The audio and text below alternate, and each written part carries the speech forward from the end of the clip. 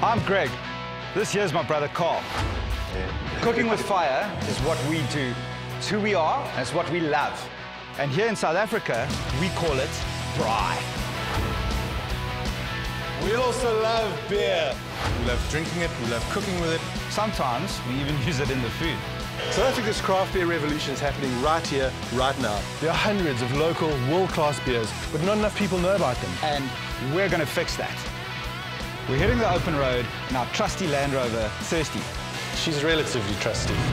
Come right along as we meet the brewers, check out the beers, and using some serious fireside skills, create the type of honest, tasty food that only playing with fire can deliver. Come eat, come eat, come eat, come eat. Oh, our journey is about life's greatest gifts. Beer, food, fire, and the open road.